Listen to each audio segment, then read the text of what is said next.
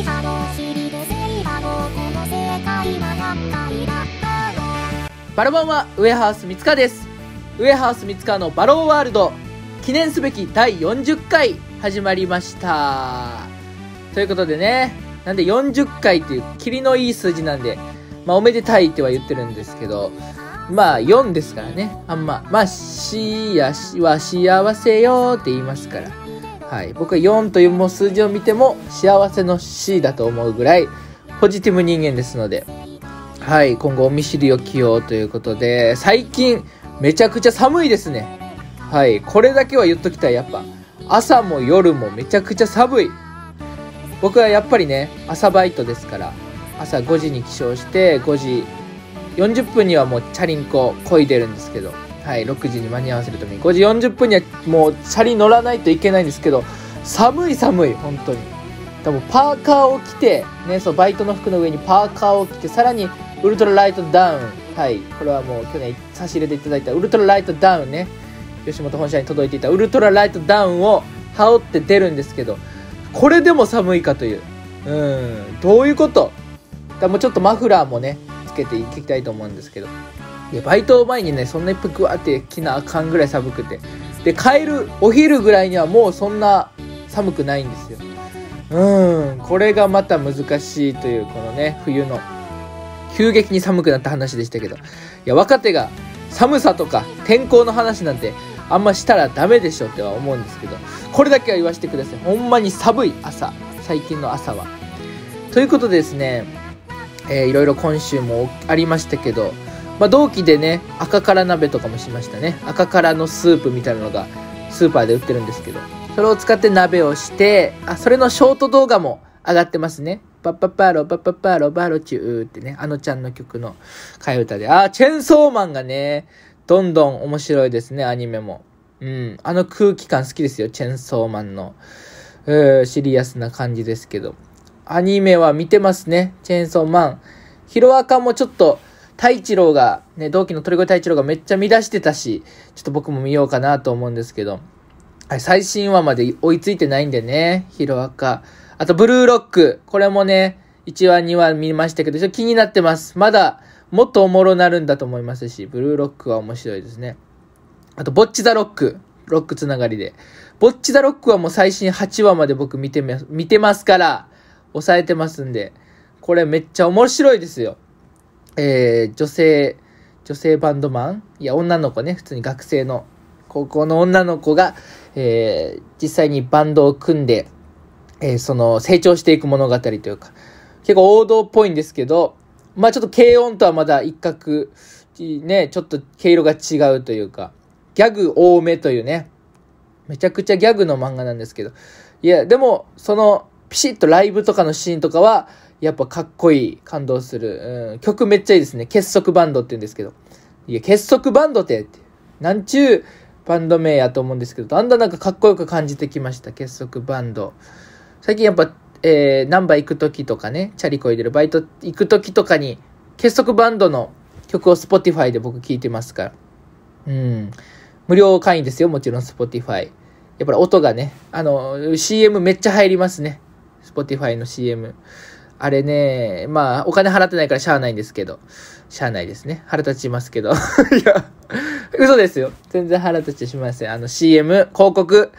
皆さんごめんなさい。YouTube にももう収益化ついてて、ね、僕のラジオ聞くために CM を見ないといけないんですよね、これ。2個、1、2個。はい。YouTube プレミアムの方には関係ないんですけど、YouTube プレミアムじゃない方、ごめんなさい。でも、それを、ね、CM を見ても聞く価値があるラジオに、僕はしていきたいと思いますんで、今後ともよろしくお願いします、皆さん。今日めっちゃメールもね、届いてましたんで、本当にありがたいですね。あ、これ運転免許証の更新にあと僕行かないといけないんだ。運転免許のハガキがね、福井県から届かせて、届かせていただいてね、うちのお母さんから。ありがとうございます。運転免許センター。うん、福井県の公安委員会の。まあでもね、住所は変更してるんで、運転免許。えー住所変更したんで、先週。あとはもう、門間かなんかの免許センターに行くだけですね。ちょっと予約を早めにしないと。これ忘れんときます。ちょっとごめんなさい。めっちゃ個人的なことなんですけど、このラジオ終わったら絶対に運転免許これオンラインで予約する。はい。これだけ決めましたんで、えー、頑張ります。はい。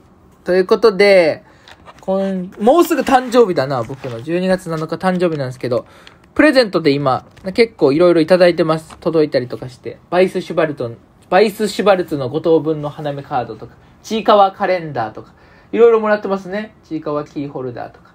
ねチェンソーマンのマキマさんのなんかマットとか。なんかありがたいのめっちゃもらってますよ。えー、なんかいろいろもらってますね。パーカーと今日、今日 Up to You っていうね、オーディションライブがあったんですけど、えー、まず負けました。ごめんなさい。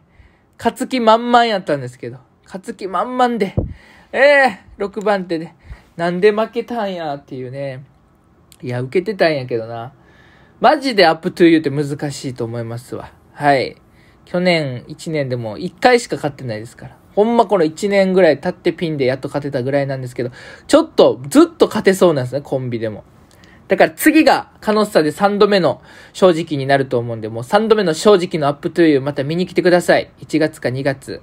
はい、ごめんなさい、そこは。でも、パーカーとアウターと、すごいおしゃれ服いっぱいもらいました。あの、3着もらってます、合計。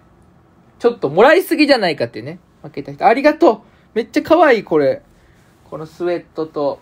これはもうすぐ来ますんで。またね、くれた方ありがとうございました。はい。すごい嬉しい。まあ、12月6日の11時半ぐらいから、えー、日付越す TikTok ライブしますんで、はい。僕みたいなものですが、生誕祭 TikTok ライブ。これを行いますんでね。はい。まあ、火曜日ですから、10時半から11時半までは、チームラキア配信で、そっから終わったら、え TikTok ライブに切り替えますのでね。よろしくお願いします。はい。僕なんかが24歳にならせていただきますんで。まだ今23歳ですけど。いやーもう、まだ、まだアラサーじゃないんか。でも25になったらアラサーなんか。ええでも体にガタが来てるとかは全く感じないですね。まあまだ全然若いんやろな。その世間的に見たら。いやもちろん高校生、中学生の人とかが今これ聞いてたら、誰がやねんみたいなね。うん、めっちゃ大人や24なんてって思うと思うんですけど。僕が高校の時とかに24っていう人いたら、ええすごい大人やなって思いますもん。二十歳も余裕で越してるし。だから芸人なんてやってたら、ほんまに何か成し遂げないのと思いますね。この年になったら。でも、すごいプレゼントとかありがとうございます。ということで、普通のお便りが届いております。普通おた、まず、ラジオネームクー。いつか、タワマンで暮らしてやる。もちろん、20回以上でね、ウエハース三川を見下ろしてやる。な、なんやこれ？宣戦布告ですか？僕に対するすごいこの、く好戦的な態度ですね。えー、わかりました。僕はもう20回以上で済みますわ、そんな。50回、60回、70回。えー、天国へのカウントダウンのツインタワービルに住みますわ。あっこ住んでいいかわからんけど。天国へのカウントダウンの天国に一番近いとされているあの、もうね、世の中で一番高いビルの最上階で暮らしてやりますわ。うん。勝負やぞ、食う。いや、芸人で売れたらそれもね、可能ですから。はい。そうですよ。ほんまに。みんな息してる？みんな息してる？テンチムです。あ、ごめんなさい。冗談ですよ。はい。冗談です、今のは。テンチムさんのこともそんな知らんのに、言う、言いたくなりますね。息してるって。はい、ありがとう。あ、普通オタはこれだけなの？普通オタはこれだけ？いい？そんなことある？いや、あります。普通オタまだまだあります。えー、ラジオネーム、えー、あ、ラジオネームあやたんですね、これは。お久しぶりです。やっとパソコンに Google 入れたので、これからはメールも送ろうと思います。ラスカルのあやたんでした。このラジオネームなんとかって書くんじゃなくて、最後にラスカルのあやたんでしたっていうね、この締めに言う感じ面白いですね。あやたんがついに帰ってきましたか。これは楽しなりますよ、ラジオ。ありがとう。Google フォームね。まあでも携帯からでこれ送れますので、はい。よろしくお願いします。続いて、ラジオネームエリザ。えーペンネームみたいになってますね。PN って。ペンネームエリザちゃん。えー、三川さん、ウエハースの皆さん、バラバンは、バラバンは100年ぶりにバロは聞いたら、お便り少なすぎて泣いちゃいました。あはは。今回はお便り激戦区になりそうですね。それはそれとして、イオンモール営業のお仕事お疲れ様でした。本当に芸人みたいでかっこよかったです。最前列のほぼど真ん中で保護者ずらしてすみませんでした。ほんまに、おかんが見てるんがってぐらいね、その温かい目で見てくれてましたよ。今後も、ダイアンの津田さんのように、家賃65 5万円の家に住んで、プラダのスニーカー履けるように頑張ろういや、これ、これ津田さんがついた嘘ね。いや、僕、あの、河原町オーパっていうね、えー、大きいショッピングモールみたいなところ、イオンモール系列のとこで、再、えー、埋設させていただいたんですけど、まあ、オープニングアクトというか、その時トークコーナーもね、一緒に、津田さんと一緒に出させていただいたんですけど、拓郎さんとね、えー、いや、その時言ってたけど、津田さん。めっちゃ覚えてるやん、エリザワさん。あ、エリザちゃんね。うん。えー、一緒にあの、だから、トークコーナーで出てきた時に、どうもーみたいな。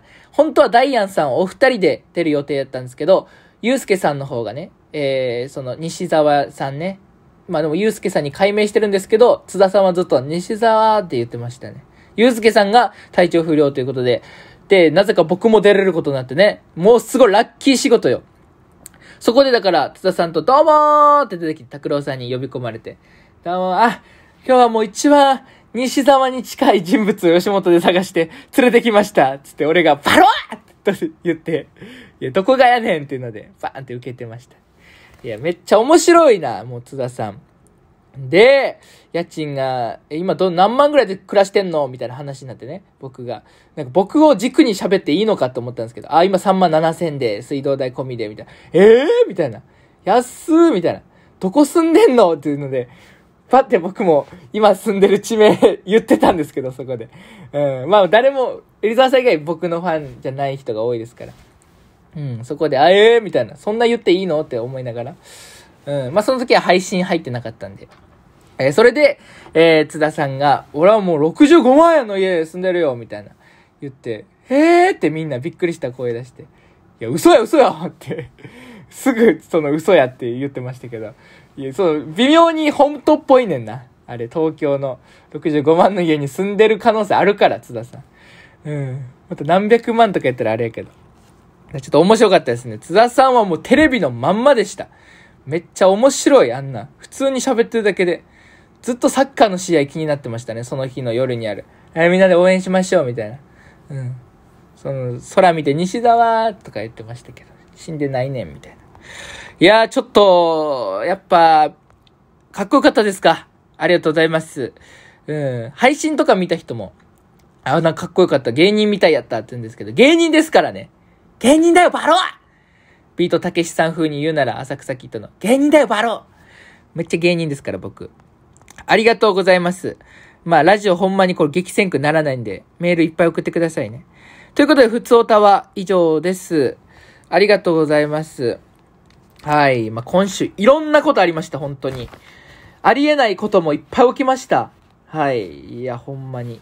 だからね、同期の大和健の解散なんですけど、ほんまセンシティブですけど、ここ触れんのは。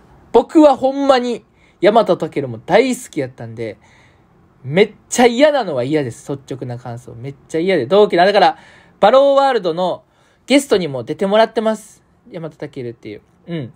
このラジオでもたびたび名前を出してきたんですけど、そこがほんま、でも、その、本当に誰も悪くないっていうね、理由で解散という感じなんですけど、うん、ジュンさんが吉本退社して、退所してっていう、ほんまにしんどいですね。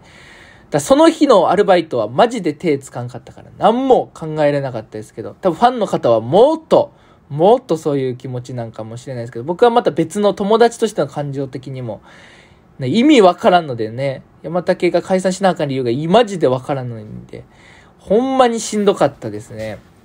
いやー、だから高志はね、芸人続けるっていう一応意向なんで、えー喫茶店に行こうっていうのを誘いましたんで、また。うん。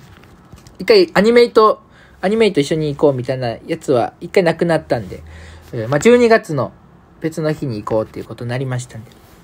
まあほんまにちょっとね、喋りたいな、しっかり高志とは。いやー、ほんまにでも、俺らも頑張ろうってなります。カノスさんもコンビも。うん。当たり前じゃないんだなというコンビであること。あと、推しは押せるうちに押せ、押しとけみたいなね。推しは押せるうちに押せ、みたいなね。言葉ありますけど、ほんまに、本人らも山竹急に決まったから、分かってなかったらしいんですけど、もうね、理由とかこれはもう伏せますけども、はい。いろいろね、大変ですから。まあ、しゃあないですよ。うー、まあね、本当に、当たり前じゃないよ。当たり前じゃないんですね。コンビでできることとか。芸人でやれることって。だ本当に芸人やらせていただいてる。僕もお母さんとかがあんだけね、えー、就活という漢字二文字だけが送られてきた時期もありました、去年。大学卒業するまでは。今年の3月に大学卒業しましたけど。就活という、えー、2文字だけ LINE で送られてくる時期もありましたけど、お母さん、しっかりお芸人応援してくれてますから、今。どうなんやろな、お母さん的には。うん。まあまあ、そんなはいいとしてね。まあ僕はね、ほんまにちょっと頑張るだけなんで、ここから。 Up to 負けとんねん Up to という吉本の若手が出るオーディションライブ、今日負けとんねん。うん。あかんねん、これ。山竹余裕で毎回勝ってたから、 Up to。めっちゃ強いですよ。いや、ちょっと僕らは、またこの次の機会にということで、来年まで持ち越します、この、いい、このメラメラとした気持ちを。うん。ということでね、なんかあるかな？えー、ポケモン面白いですね。ポケモンスカーレットやってますけど。うん、今回のロケット団とか、アクア団、マグマ団みたいな感じで、スター団というね、えー、連中が出てくるんですけど、スター団は結構珍しくて、今回その学生の不良みたいな感じですね。不良集団みたいな。だからこのスカーレット・バイオレット自体が、えー、学生生活ちょっとあるっていうね。主人公が通ってる学校の課外授業とかでジムバッジとか取りに行くんですよ。これがなんかまた他と違ってて、面白いなポケモン山ほど売れてるやろな。うん。で、僕が一番好きなポケモン、ずっと昔から一番好きなポケモンと言い張っている、ノコッチっていう、知ってますか？土の子ポケモンのノコッチ。うん。もう飛べないようなちっちゃい羽が生えてる。で、えー、尻尾がドリルみたいになって穴掘るために使うみたいな。ね、そういうノコッチと可愛いポケモンがいるんですけど、このノコッチがですね、今回出てまして、はい。あ、最近のポケモンはね、ポケモン数が多すぎて、リストラされるポケモンもいるんですよ。今回のシリーズにはいないポケモンとかもいたりして、その、えー、実際にはいるけど、このゲームの中には出てこないとかね。やっぱ 3D グラフィックで全部作るの大変ですから。ノコッチがちゃんと出てて、しかもノコッチが進化するというね、この、聞きつけましたよ、噂を。僕の兄貴から聞きましたよ。え、やばいでしょ。僕は何回も考えてたから、ノコッチの進化なんて。イラスト化してたから。のこっちがね、のこうてになるのかとかね、皇帝ののこうてみたいな、なるのかとかね、なんか一時期改造ポケモンみたいなのが流行ってましたよ。その嘘ののこっちの進化みたいなのが出回ったりして画像。僕はのこっちファンですから、はい。だから進化、なんかのここっちみたいになるんかな、確か。うん。思ったより見た目変わらんわ、あれ。そんな、僕らが考えてたのこっちじゃなかったわ、のこっちの進化。まあ、それはそれで可愛いんですけど。ちょっと僕はノコッチ今育ててますね。可愛くて。うん、可愛いですわ。あれでちゃんと殿堂入りしたいと思いますんで。うん。あと僕はホゲータももう進化しましたね。ホゲータがアチゲーターに進化しましたけど。はい、そこら辺もちょっと見た目気になるとこではありますが、皆さんもポケモンしてくださいね。ということで、今週のテーマメール行きましょう。今週のテーマメール、みんなの好きなポケモンということで、テケテケテケテケでー、でってるてれれれれれ、テケテケテケテケでー、てってってるって、たとえ火の中、水の中、草の中、森の中。ということで、みんなの好きなポケモンを、えー、ここで読んでいきましょう。まず、ラスカルのアヤタンですね、これは。ラスカルのアヤタンの好きなポケモンは、水タイプのポケモンです。あまずは水タイプですね。その中でもポッチャマとミジュマルが好きで、やっぱ一つには絞れないよねーな感じです。えー、仙台駅の近くのポケモンセンターにいた時、ぬいぐるみコーナーに行ったのですが、私の好きなポケモンたちは愚か、コイキングもいませんでした。いや、コイキングは、なんでおる想定やねん。コイキングそんな莫大な人気ないから。好きなポケモンたちは愚か、コイキングもいませんでした。過去売り切れだったのか販売してなかったのか。もともと水生生物が好きで、その中でもラッコとペンギンが好きだったので、一番似ていたのがポッチャマとミジュマルだったんだと思います。そんな偶然が。水生生物が好きだよね、あやたえー、それはともかく初めてポケモンを見たとき、ニュースが喋っている、あ、ニャースが喋っていること。えー、初めて喋る動物を見たのがニャース。いや、かっこ、かっこ初めて喋る動物を見たのがニャースに衝撃を受けました。いや、あれアニメーションやから。アニメとか漫画やから。喋るやろ、そりゃ。多分小学生になる前だったのかな。そんなこんなでポケモンにはいろいろと衝撃を受けた記憶があります。私はポッチャマとミジュマルが好きで、なぜか家には大量のピカチュウのぬいぐるみがいます。なんでやねん。ピカチュウ、ポッチャマとミジュマルが好きなのに。まあ、でピカチュウのグッズなんてもう山ほどありますから。いやー、だいぶ笑かしてもらいました。面白メールありがとう。初めて喋る動物見たの、僕もニャース初めてかもな。三日月型の特別チケットに金色金色クレヨンでニャースのパーティーって書いたんなら地球に乗ってばらまくのにゃこれ知ってますか？ニャースのパーティーまだまだ続く今夜はバトルはお休みにゃってやつね。僕ニャース好きでね、ニャースでニャースうん。ニャースの歌も好きなんですよね。ニャースの歌っていうポケモンの、えー、無、無印、無印、無印時代っていうんですかあの、えー一番初代のやつ、キッズステーションで僕朝、めっちゃ早く起きて見てた時期5時から6時まで2話連続放送みたいなのを兄貴と一緒に見てて、えー、すごい、あの時だから僕の兄貴がめっちゃプリン好きになったんですね。プリンっていうのがめっちゃ可愛いんですけど、プリンっていうポケモン。うーあのー毎回サトシたちに歌を聴かせたくて歌うんですけど、歌うと寝ちゃうんですね。ポケモンの技ですから、歌うっていうプリンの。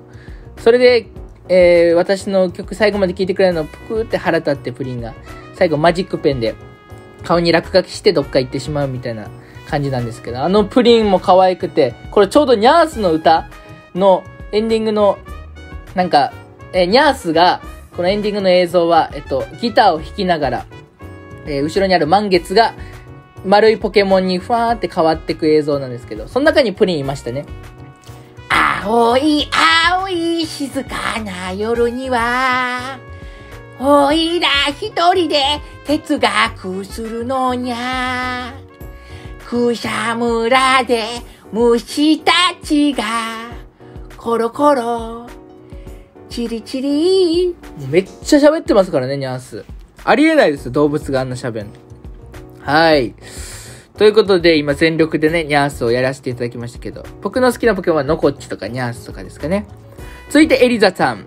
エリザさん、ペンネーム。テーマ、好きなポケモン。はい。私の好きなポケモンは、ピジョットです。おえ？ピジョット好きなんや。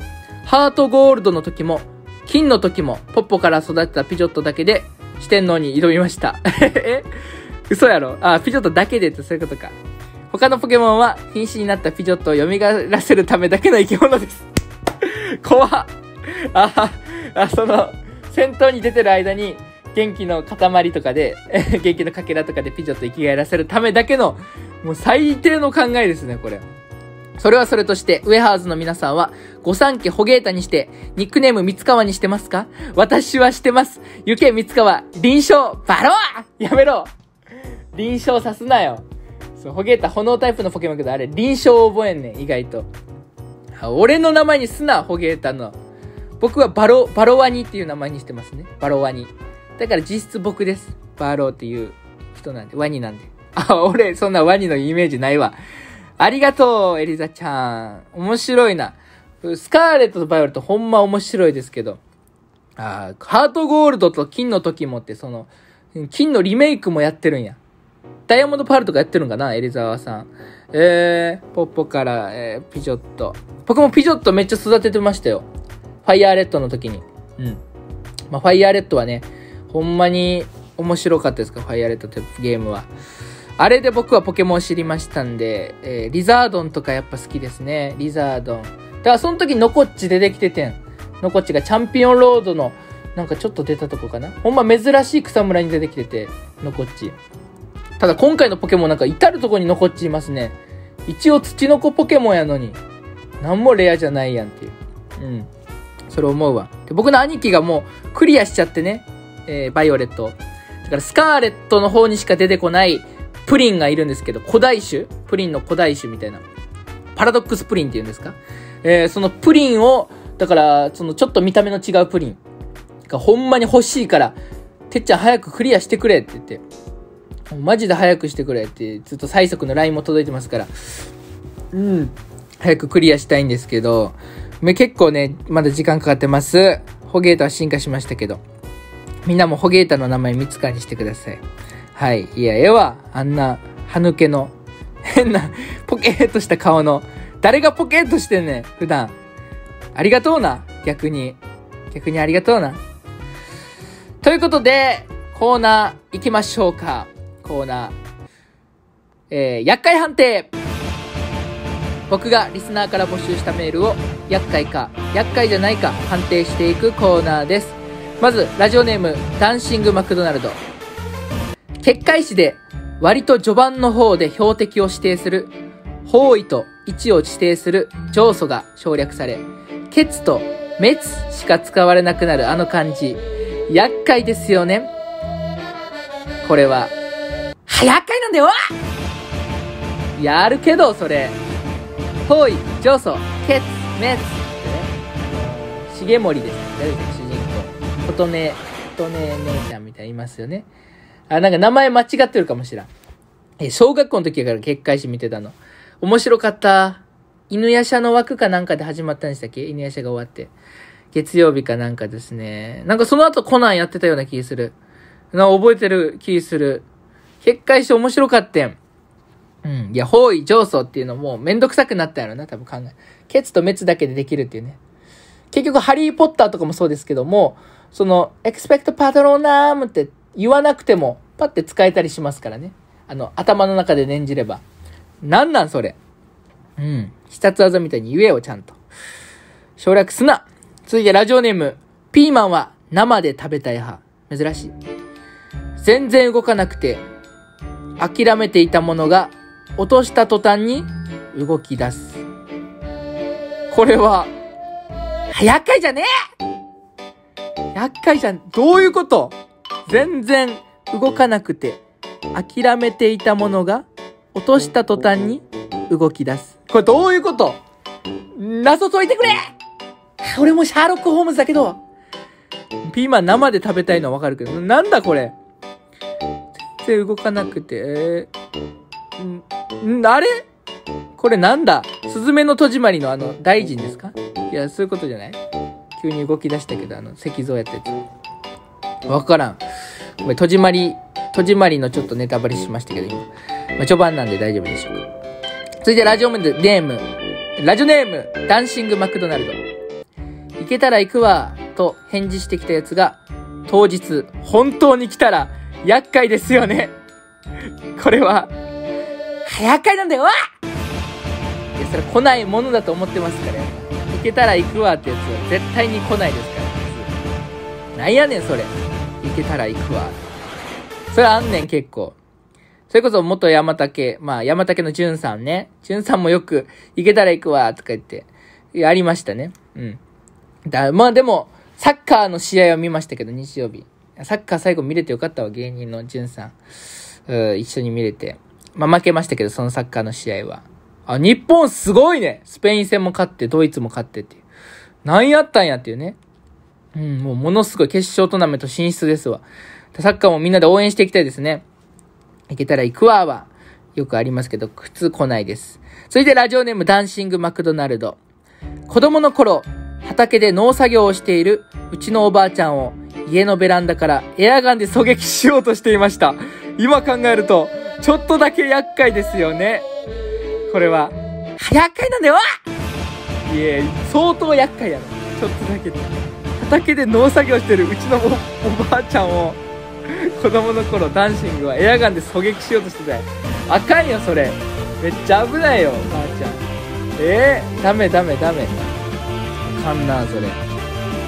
いや、やっぱ子供ってエアガンでなんか撃ちたくなるんか。あれ、やっぱ良くないな、エアガンって。ああ、BB 弾飛ばすやつ。あれ、目とか入ったら危ないですから。僕もなんかその、中学の時にチャリでね、登校してる時とかに、なんかどっかの家のベランダから狙われてましたね、狙撃で。カンカンカンって当たって。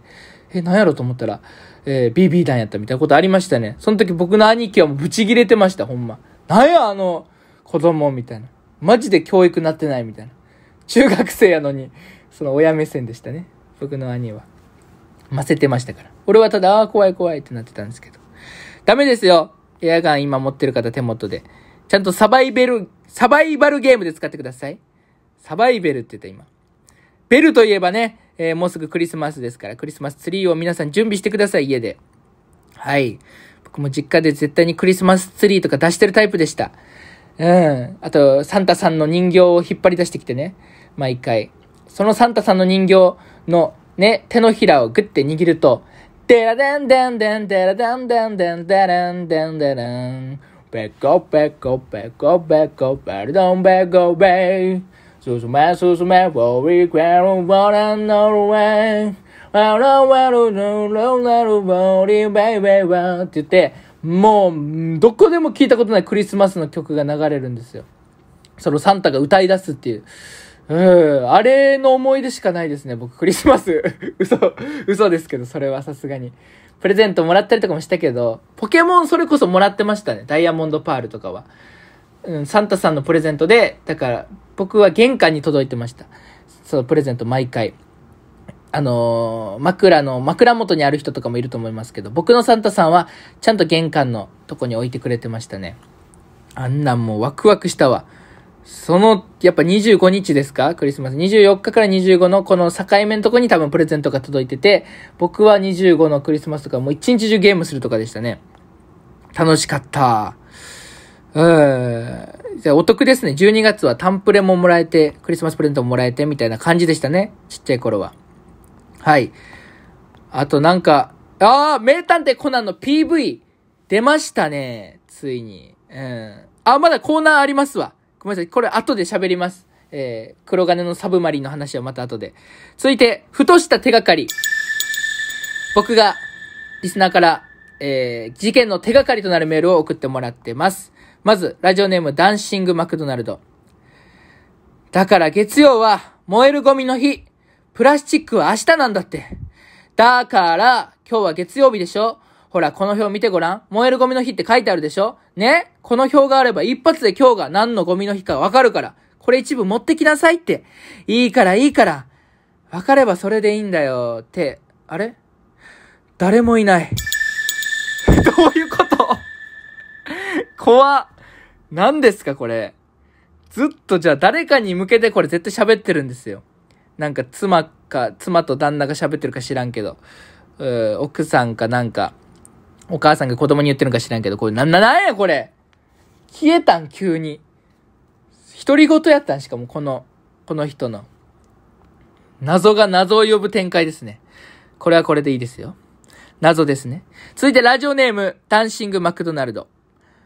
バイクに乗りたいって思うと、雨降るなこれは悲しいですね。事件というかね。ほんまにそういうことありますからね。ここぞという時に雨降りますから。僕も久々にピンゲーやるぞ、みたいな。フリップ、フリップゲーだ、つってフリップとかね。あれか、雨とか濡れるのめっちゃいいですから。まあ一応カバーみたいなかけてくんですけど、めっちゃ荷物でかいんで、傘さしてもちょっと濡れるんですけど。よう雨降るわ。フリップしたい日。フリップしようとした日は雨降るなーっていうのもね、手がかりに入れといてください。はい。R1 グランプリもありますんで、12月27、28。まだ僕ら、今年の戦い終わってないぞということで、須崎も今年 R1 出ろって言ったらね、出るって言ってたんでね、去年も出てましたから。ちょっと頑張りますんで、カノスタでも、コンビの、ね、個人的にもみんな頑張りますんで、応援よろしくお願いします。今年も工藤新一で行くぞやっぱ工藤新一芸を磨いてきた一年でしたから。はい。フジテレビですが突破します。頑張って。ということでですね。もうないですかね、メールは。ありがとうございます。ちょっと名探偵コナン、黒金のサブマリンがね、えー PV 公開されましたけど、あとキービジュアルもね。キービジュアルすごかったね。灰原、赤井さん、安室さんっていうもうこの、二人が並んでますから。相当よ。で、端の方にアガサ博士がいたりとか。あれ、アガサ博士なんなん？あの目がキュルンキュルンした顔。可愛かったわ、あのアガサ博士。わしはマスコットだからの。いや、そんなことねえぞいいい気になるんじゃねえ、バロほんまにそうね。アガサ博士すごい可愛かったですから。ちょっとアガサのことがなんか好きになってますね、いつの間にか。この好きな子いじめたくなるタイプですね、僕は。アガサに関してだけ。学生時代そんなことなかったですけど。うん。僕はやっぱ気遣いなんで、そこはね。いや、そういうのありますけど、ありがとうございますね。あの、黒金のサブマリンの PV、ペルモットとかね、まず出てきてて、まず7つの子、プイポーパーポピーみたいなね、音が流れてて、えー、まあ、7つの子のあのプッシュ音は、黒の組織のボスにつながるメールの音でしたっけ、あれ。確かそうですね。うん、カラスマレンヤかなんかの。だからちょっとラムとか、ベルモット、ジン・ウォッカも、この黒の組織も総集結するっていうことで、なんであの潜水艦にいるのかとか、なんか話暗そうなんでね、シリアスな感じがちょっと楽しみですね。灰原大丈夫？死ぬな灰原っていう感じでしたけど。灰原、愛ちゃん死なないでしょさすがに映画で。ちょっとこれは楽しみや。赤瀬博士もね、ブルルンってな、車、あの、愛車のビートルをね、乗り回してる映像流れてましたから、ハンドル切るとこ。あれ誰かに狙われるんかな？ちょっと心、アガサの心配もありますね、僕は。灰原もそうですけど。うーん、そういうことありましたね。ということで、今週も聞いていただきありがとうございます。えー、まあ、この後はエンディングですね。じゃあもうこのままエンディングいきますか。エンディングでーすエンディングはい、エンディングの曲も流れたということで、まあ、今週いろんな感情の起伏が、起伏がありましたけど、結果まだまだ頑張らないといけないなという感じですね。うん、全然、全然頑張れてない、正直。イオンモールの余韻でまだ行ってるわ。あれが今年のハイライトやわ。もっと頑張らないとね。12月まだありますんで。ライブとかもね、えー、インスタグラムの方でね、告知とかしてますんで、また、ライブ情報知りたい方は、おし、言ってください。はい。親しい友達とかに入れますので、そこでしか言ってないやつとかもあるんでね、この、僕のオフ写真とかもありますんで、はい。そういうことですね。今年の年末は福井に僕も帰れるんでね、楽しみですね、それが。ほんまに。早く福井帰りたいわ。うん。で、兄貴が、そういえば来週、ストリートファイター展のために来てくれるということで、えー、ね、福井県から来てくれるんで、あの、残、あの、あの、一緒にポケモンやってたね、えー、兄貴ですわ。一個上の兄貴が。嬉しいね。12日とかですか？嬉しい。ちょっと遊ぶわ。うん。まあまあ、いろいろ語らいたいですね。語り合いたいですね。M1 の決勝も12月18日ありますんで。どうやって見よう？なんかピザとか撮ってみんなで見んのもいいな、これ。どうしちゃおう？去年はね、備前大和のクラと、えー、そう見たんですよね。クラと、あともう一人大学落ち研の後輩と、みたいな。いやー、それですね。あ、そういえば池永からタンプレ届いててね。タンプレが東京から富樫義弘店富樫、富樫店に行ってきてて、あの、ハンターハンターの作者の。えー、クラピカのマグカップと、あとバンジーガムのグミくれましたんで、ありがとうほんまに。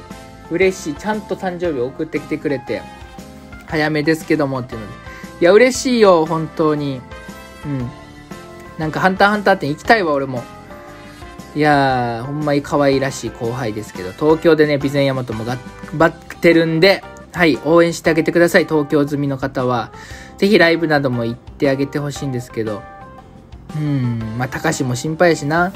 山竹隆も。隆もね、喫茶店でちょっといろいろ、僕あのステッカーを買ってきたんで、多分ここ、このラジオ聞いてないやろから、高橋。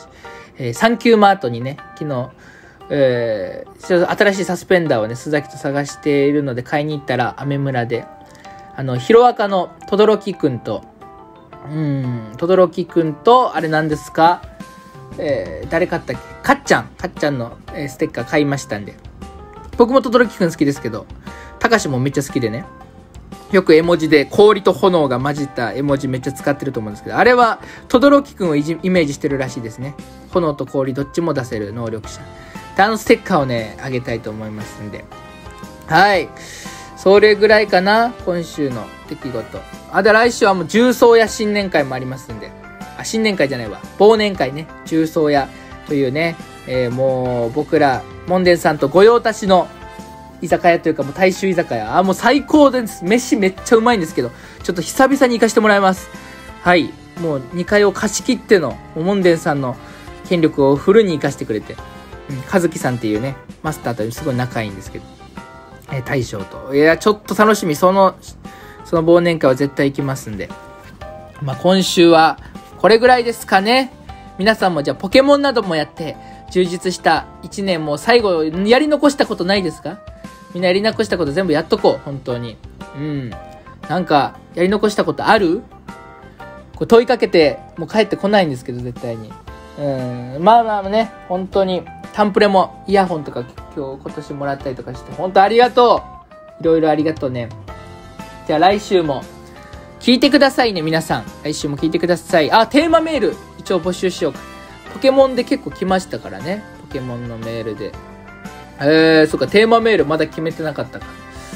まあ、コナン、じゃ黒金のサブマリン公開されましたけど、黒金のサブマリンの映画で展開でありそうな予想しましょう。予想。うん、予想です。アガサ博士が、なんだろう、えー、銭湯に行くシーンがありそうだとか、えーもう予想でいいんで、本当にこういう展開が起きたら面白いなっていう、えー次のコナン映画の、うん、予想しましょう。次のコナン映画で起きそうなこと、これを募集いたします。はい。僕、想像してんのなんやろね。うん。まあ、灰原愛ちゃんが、あの、アポトキシンの解毒剤飲んで大人に、シェリーに戻るんじゃないかとは思ってますね。シェリーに戻るシーンは絶対ありそうな気しますね。コナン君のメガネかけてたし、PV で。ちょっとみんなまず、黒金のサブマリンの、あの、PV 見てください。魚影と書いてサブマリンと呼ぶ。これは予想できなかったですね。ということで、来週も聞いてください。さようなら。